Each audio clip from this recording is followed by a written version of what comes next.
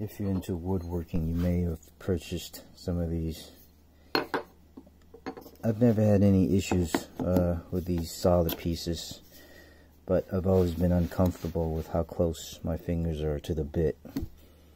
Um, you know, I've never had any accidents, but I've always been uncomfortable.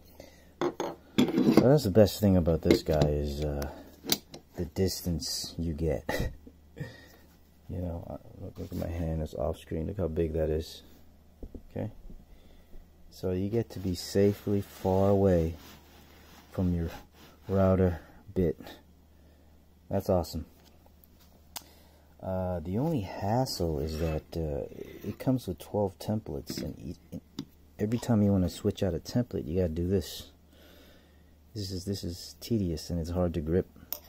So if you're gonna use this a lot, I recommend getting a dedicated bit and just store it with it because this is much easier.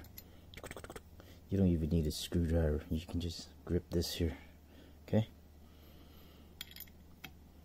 much faster than uh, than this. Um, another thing is these solid pieces. If you want to use the opposite radius, you just flip it like that, right? Same principle. You can do that with this.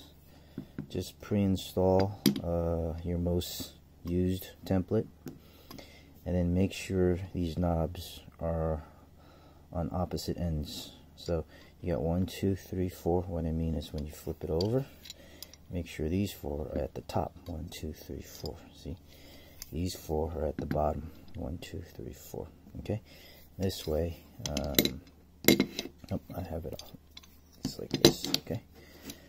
Alright, this way, you're done. You want to do the other side. What is this? This is R30. I have R30 on this side. Just flip it over, and you're ready to go. I like it.